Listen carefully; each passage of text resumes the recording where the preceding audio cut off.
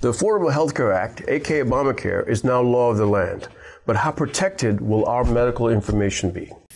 Right now, when you go see your doctor, your most private personal medical information is protected by doctor patient confidentiality, and the sharing of that medical information to other healthcare providers is overseen by the Department of Health and Human Services through HIPAA privacy laws.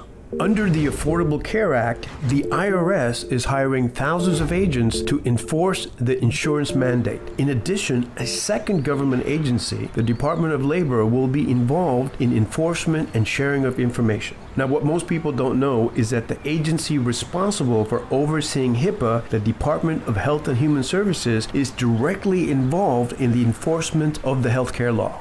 However, what has most people concerned is that we have seen leaks from the IRS, the Department of Justice, the Department of Defense, and the State Department, as well as national security information leaked worldwide.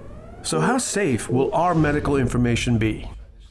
For me, when I see a patient, it's crucial to make the right diagnosis. And to do that, I depend on my patient sharing with me sometimes the most intimate personal medical information of the spine. If a patient was hesitant to disclose that information because they are afraid of how protected that information was, given the vast number of people and agencies sharing it, would it damage my ability to make the right diagnosis? And would that affect the quality of care that you get? This is an important question that we all need to discuss.